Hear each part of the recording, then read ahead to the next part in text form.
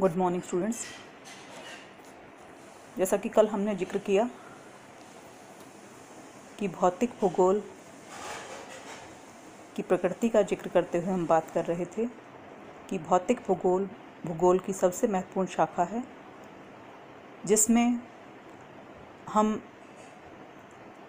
प्राकृतिक वातावरण के चार प्रमुख मंडल, परिमंडल शामिल करते हैं। स्थल मंडल या जिसको लिथोस्फेयर कहते हैं, वायुमंडल, या एटमॉस्फेयर कह लो, जलमंडल, हाइड्रोस्फेयर, और इन तीनों का, इन तीनों में जहाँ तक जीवन है, वो मंडल, जिसको आप जैव मंडल या बायोस्फेयर के नाम से जानते हो। तो भौतिक भूगोल में इन चारों मंडलों का अध्ययन हम करते हैं। और पर्सपेक्टिव होता है अध्ययन करने का हमारा स्थानिक और सामयिक। समय के संदर्भ में और स्थान के संदर्भ में जो है, इन मंडलों के विभिन्न तत्वों का हम अध्ययन करते हैं। तो बहुत व्यापक क्षेत्र है ये, चारों परिमंडलों का। तो भौतिक भूगोल में इसी को पढ़ा जाता है तो इसलिए हमारे भौतिक भूगोल की का जो स्कोप है, जो सब्जेक्ट मैटर या जो सामग्री है, विषय सामग्री है वो भी बड़ी विस्तृत है और उसका अध्ययन क्षेत्र जो है वो बहुत व्यापक है। तो अब ज़िक्र करते हैं कि चारों मंडलों में क्या क्या पढ़ते हैं और क्या है ये। तो पहला है इस श्रृंखला में, वो है स्थल मंडल।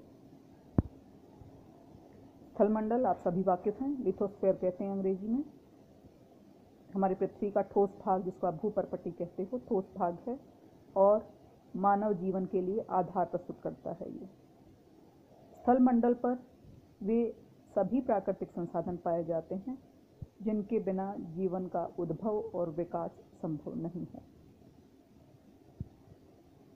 तो स्थल मंडल को समझने से पहले जो है हमको पृथ्वी की उत्पत्ति, इसकी आयु, इसका भूगर्भिक समय मापक, वो जानने की ज़रूरत है। तो ये सारा का सारा जो है हम स्थल मंडल में ही पढ़ते हैं।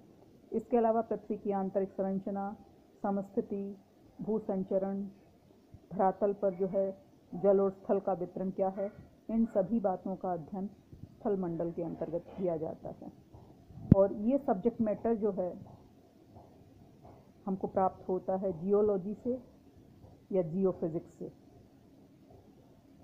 इसके इसके अलावा जो है हम स्थल मंडल में भूपरपट्टी का निर्माण करने वाले कारक पदार्थों, कारकों भूआकृतिक प्रक्रियाओं का, धरातल पर पाई जाने वाली विभिन्न तरह की स्थलाकृतियों का, उनके विकास का हम अध्ययन करते हैं। इसके अलावा स्थल मंडल में उन सभी स्रोतों का भी हम अध्ययन करते हैं, जिससे हमको जल की प्राप्ति होती है। मृदा निर्माण और धरातल पर उसके वितरण का अध्ययन भी स्थल मंडल में ही किया जाता है। और इन इस सारी विषय सामग्री का अध्ययन जो है, हम भौतिक भूगोल की एक महत्वपूर्ण उपशाखा है भू आकृति विज्ञान, या जिसको आप जियोमोर्फोलॉजी कहते हैं, उसमें हम पढ़ते हैं। दूसरा मंडल है, दूसरा परिमंडल है वायुमंडल।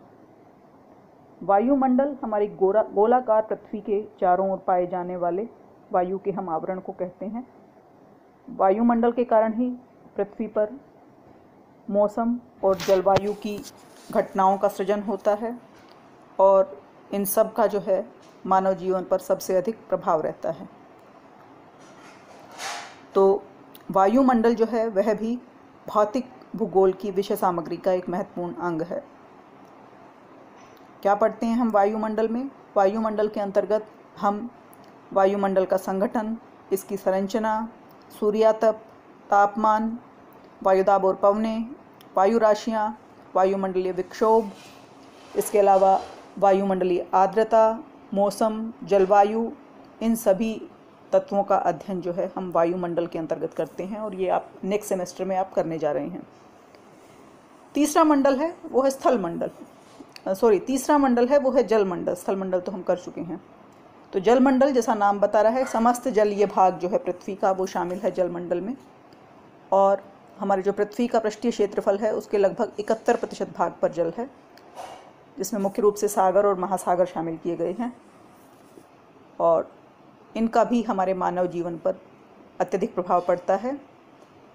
तो जल मंडल के अंतर्गत हम महासागरीय बेसिन की रूपरेखा, महासागरीय जल का तापमान, उसकी लवणता महासागरीय जल की गतियाँ, महासागरीय निक्षेप, महासागरीय संसाधन, इन सभी विषयों का जो है अध्ययन हम जलमंडल के अंतर्गत करते हैं।